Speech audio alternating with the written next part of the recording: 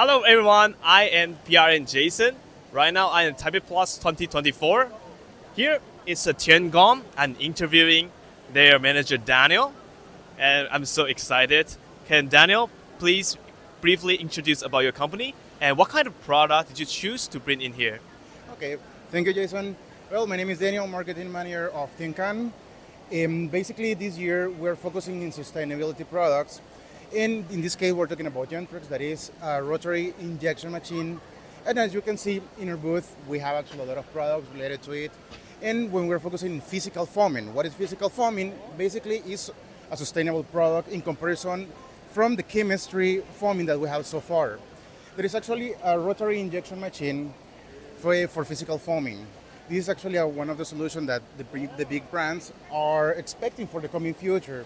We have, for example, in a range of products other than uh, Gentrix, as you can see, that is a SCF injection. We have also some EVA injection. We have compression molding machine. Also, we have different kind of plastic and rubber injection and also compression machinery. Yeah, I see. That's a lot of information because from what I heard, it's very meet uh, today goal because I know the United Nations is promoting the ESG and SDG goals. Yes. So, uh, above that, how is your product gonna feed uh, the customer need for the green recycle? Okay. First of all, I would like to um, divide this the, the sustainability and ESG part in two sides. Oh, yes. From the ESG part, actually in the company, we're having um, a lot of improvement. Actually, we're working, we're doing ISO. We are finding way to reduce low carbon emission also, uh, this year we already made the installation of pa uh, solar panels, and we have the goal that by the end of the year we're already like 100% um, energy supply by solar panels. This is some of the small stuff that we're doing also for the society part for uh, in the ESG.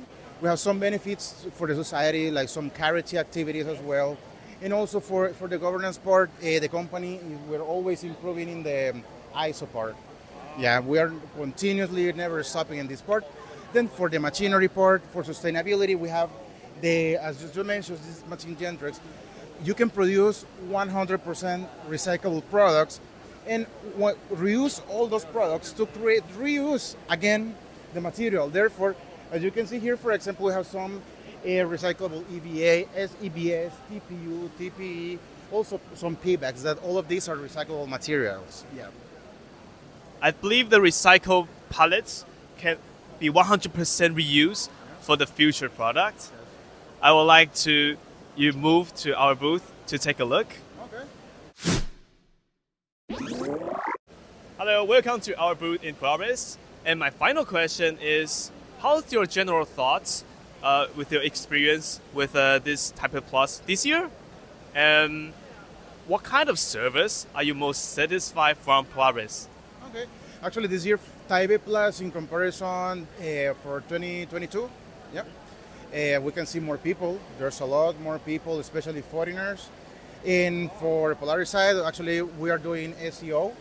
As you can see in the SEO part, actually, uh, we have improved our ranking a lot, which actually is helping us a lot with the visibility part, which is really important, especially nowadays that we're having new develop, developments. As I just mentioned, for example, we had our Gentrix machine that is something that not many people know. Therefore, we really need to do a lot of promotion, need to be able to be found on the internet. Therefore, yeah, Polaris helped us a lot in, the, in, the, in this part. Thank you, and I hope our cooperation can be longer and stronger. And I would like to thank Daniel. Thank you to work on our booth and take my interview.